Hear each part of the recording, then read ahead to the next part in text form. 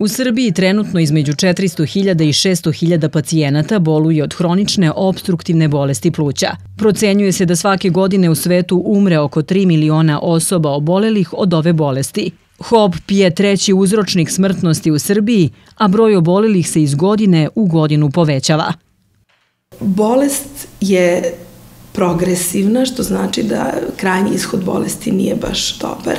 I zato je bitno da negde imamo u vidu da e, je prevencija bolesti ono na što treba obratiti pažnju. Broj obolelih je u porastu, ne samo u Srbiji, nego i u svetu. E, trenutno je na trećem mestu po uzroku smrtnosti u svetu i u proseku e, svakog minuta umire 5 do 6 osoba od HOBP-a u svetu, što je stvarno neverovatan podatak. Ova bolest nastaje podmuklo i neprimetno, tako da veliki broj pacijenata nije ni svestan svoje dijagnoze. Bolest je, mogu da kažem, podmukla u smislu što se e, postepeno javljaju simptomi. Najpre budu veoma blagi, a kažem s obzirom da je većina tih pacijenata da su pušači, oni kad dođu na pregled kažu pa dobro sam kašljem, normalno da kašljem jer sam pušač. E, kašalj je jedan od prvih simptoma, ali kašalj nije normalna stvar, čak ni kod pušača. E, vremenom se javlja i zamaranje, naročito pri fizičkom naporu i ti simptomi su u najvećem broju, kod najvećeg broja pacijenata prisutni u ranim jutarnjim satima. Ova bolest se može uspešno lečiti ako se otkrije na vreme. Problem je taj što se najveći broj pacijenata javi kada je bolest u poodmakloj fazi.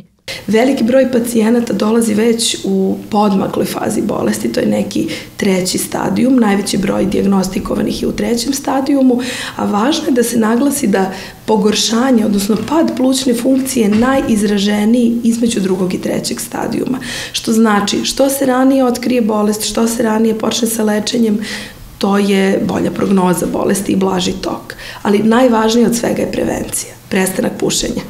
Pušenje cigareta je glavni faktor rizika za pojavu ove bolesti. Što je pušački staž duži, verovatnoća za nastanak hronične obstruktivne bolesti pluća je veća. Pored pušača obolevaju i nepušači koji žive i rade u mestima gde je prisutno aerozagađenje.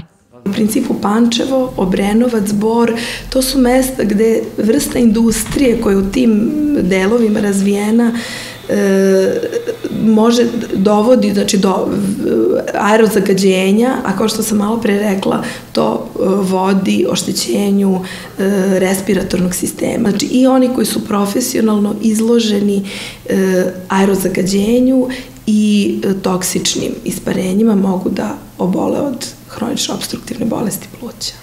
Osobe koje imaju simptome kao što su kašalj i zamaranje pri fizičkom naporu, iako su u sto pušači ili su profesionalno izloženi nekim toksičnim isparenjima, trebalo bi na vreme da testiraju funkciju pluća. U dispanzeru za plućne bolesti pacijentima se radi bezbolna, jednostavna i brza metoda spirometrija na osnovu koje lekar može da proceni da li se kod pacijenata razvila hronična obstruktivna bolest pluća.